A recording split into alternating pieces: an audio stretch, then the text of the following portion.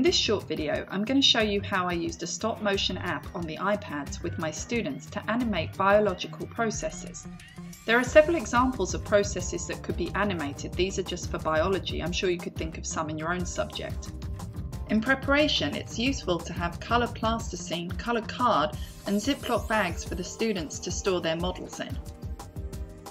To start with, I provided the students with the theory regarding the process they were to learn.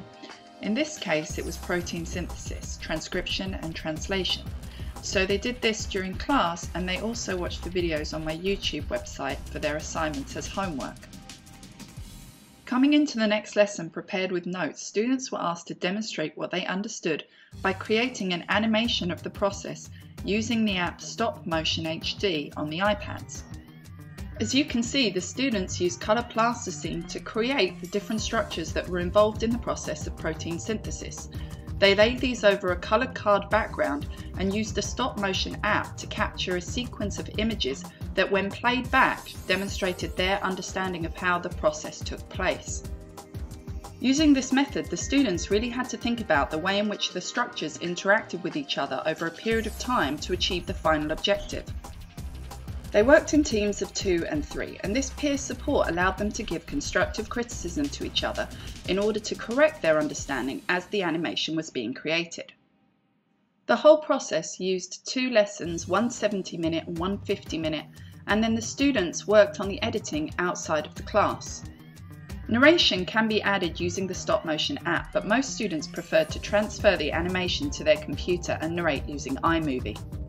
Once completed, students' animations were assessed by a given set of criteria provided in advance. The students uploaded their animations to a shared Google Drive. At this point, it's also possible to engage the students in peer assessment. The students can watch other groups' videos from the shared Google Drive and provide other groups with constructive critique. As a result of this process, students' understanding can be consolidated, and you as a teacher can see where there may be misunderstandings in a process that need to be further addressed.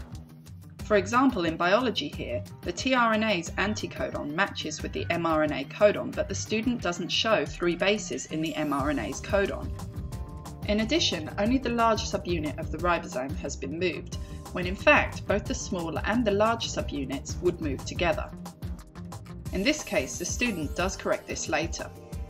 I personally have found that using this kinesthetic activity in my teaching has really pushed students to think deeper, ask more questions and achieve a more comprehensive understanding of the subject matter. What kinds of processes could students animate in your subject?